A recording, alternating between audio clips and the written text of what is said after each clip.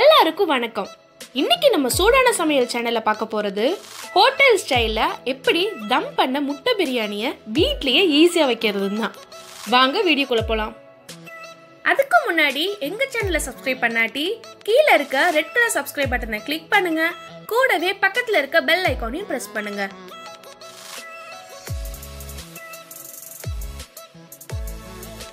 முதல்ல தேவையான பொருட்களை பார்த்துக்கலாம். தக்காளி மூணு வெங்காயம் நாலு மல்லித்தூள் ரெண்டு ஸ்பூன் மிளகாய்த்தூள் மூணு ஸ்பூன் பூண்டு பதினஞ்சு பல் எடுத்துக்கோங்க. இஞ்சி மூணு துண்டு பச்சை மிளகாய் பத்து. பிரிஞ்சி எல்லாம் ரெண்டு எடுத்துக்கோங்க. கல்பாசி சிறிதளவு பட்டை ஒன்று முந்திரி கையளவு கிராம்பு ஏழு எடுத்துக்கோங்க. ஏலக்காய் ஆறு போட்டுக்கோங்க. அன்னாச்சி பூ அஞ்சு போட்டுக்கோங்க. இப்போது நான் மராத்தி மூக்கு எடுத்திருக்கேன் ரெண்டு. இது எதுக்குன்னா பிரியாணி நல்ல மனம் கொடுக்கும் அதனால. புதினா கொத்தமல்லி கையளவு லெமன் ஒன்று இப்போ ஃபஸ்ட்டு முட்டையை வேக வைக்கலாம். அதில் கொஞ்சம் கல்லுப்பு போட்டுக்கோங்க. இப்போ இப்போ பார்த்தீங்கன்னா முட்டை வெந்துருச்சு. இப்போது அரைக்கிறத அரைச்சிக்கலாம். பெரிய வெங்காயம் அந்த தக்காளி பச்சை மிளகாய் பூண்டு இஞ்சி இது எல்லாத்தையும் மிக்சரில் நல்லா அரைச்சிக்கோங்க. அரைச்சா இந்த பதத்தில் தான் வரணும்.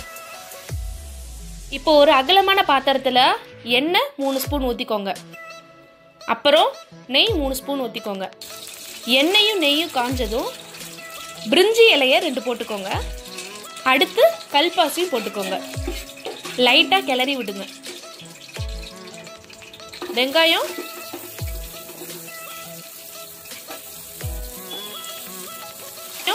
தக்காளி. பச்சை வாசனை போகிற வரைக்கும் நல்லா வதக்கணும்.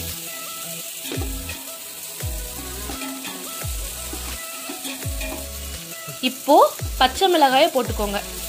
அதுவும் நல்லா கலந்து விடுங்க.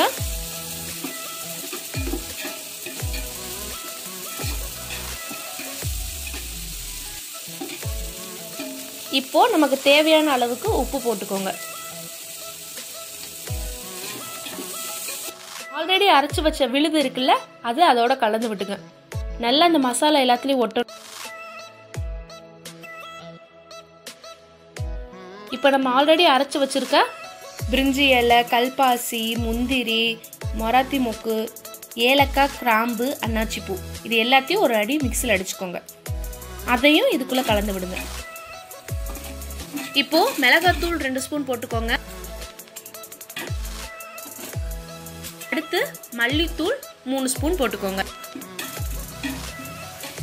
இப்போ புதினா கொத்தமல்லியும் போட்டு லெமனை பிழிஞ்சு விட்டு நல்லா கலக்கி விடுங்க.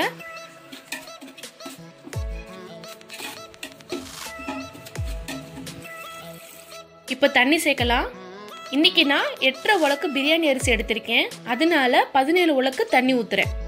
நீங்க ஒரு உலக்கு அரிசிக்கு ரெண்டு உலக்கு தண்ணி எடுத்துக்கோங்க. இப்போ அரிசியை போட்டு நல்லா கலந்து விடுங்க.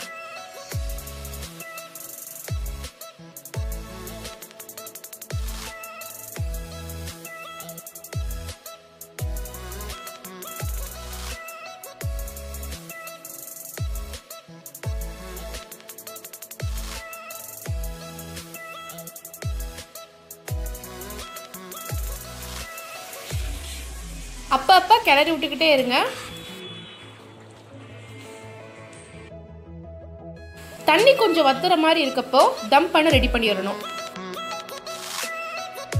இப்போ நம்ம ஆல்ரெடி நம்ம எக் வேக வச்சிருந்தோம் இல்லையா? அதை அதுக்குள்ள வச்சு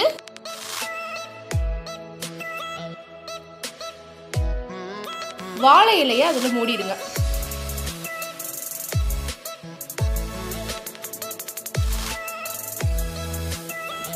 பிரியாணி பாத்திரத்துக்கு மேலே ஒரு மூடி போட்டு அது மேலே கங்கு வச்சுக்கோங்க.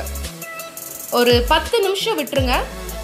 அதுக்கடுத்து பார்த்தா நம்ம வச்ச தம் எக் பிரியாணி ரெடியாக இருக்கும்.